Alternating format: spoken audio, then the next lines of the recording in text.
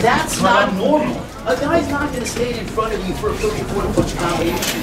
It's the simplicity of those three punch combinations which have been the calling card along with that straight left by Manny Pacquiao. Totally agree, right? You see too much of that these days. It's showing tactical effect.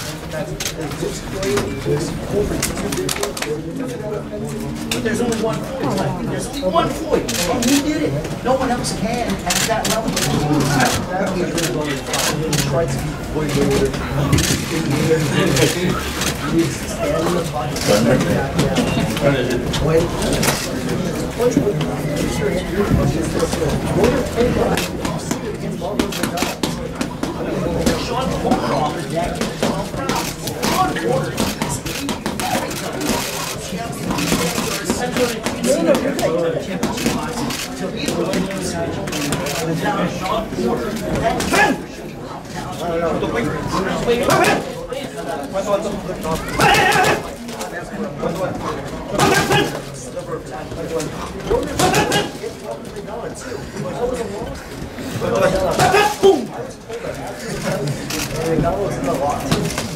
Garcia, yeah, Robert, who won the fight?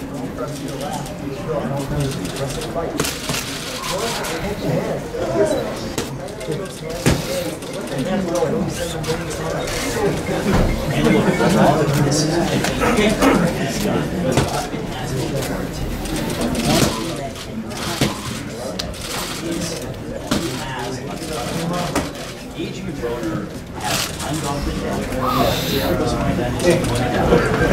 Is always there in the dangerous